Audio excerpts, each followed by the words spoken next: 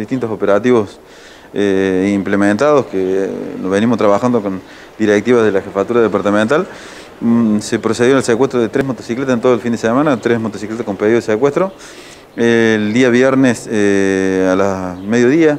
personal que se encontraba de patrullaje, de la patrulla preventiva, en Figueroa del Corte y, Dian Fune procedieron al control de una motocicleta, una Guerrero Trip 110, la cual cuando lo chequean por el sistema Elliot,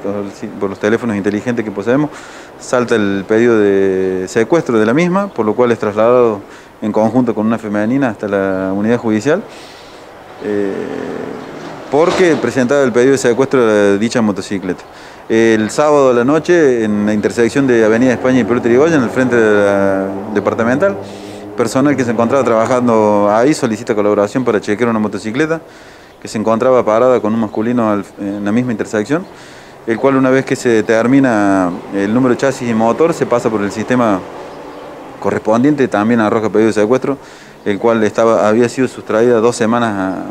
anterior, por lo cual es trasladado a un masculino de 18 años eh, en conjunto con esta motocicleta, que es una Yamaha Krypton, hasta la unidad judicial. En este caso, el masculino es trasladado hasta la alcaldía de Morrison, quedando detenido por el delito de encubrimiento. Y bueno, y la última motocicleta que fue a las 6.20 horas del día domingo, en la madrugada, que a la salida del boliche de acá de la ruta 9, donde un masculino da cuenta cuando estábamos haciendo el barrido que veníamos implementando todo el fin de semana para no tener ninguna clase de hecho vandálico en, el Boulevard Escazú y que dentro de todo arrojó por resultado positivo, porque no tuvimos eh, ninguna denuncia ni tampoco he visto nada relacionado en las redes sociales con algún hecho vandálico como hemos tenido en otro fin de semana daban cuenta de la sustracción de una motocicleta, en este caso una Yamaha 150, la cual el masculino había dejado con medidas de seguridad. Y bueno, en el relevamiento que realiza el resto de los móviles, tomando las afiliaciones y los, las características aportadas por esta motocicleta, bueno, arroja resultado positivo ya que uno de los móviles procede el secuestro de la misma por calle Ortiz Herrera frente al el ex ENET, eh, la cual estaba con algunos de los cables cortados, eh, o sea, que posiblemente no hayan podido ponerla en marcha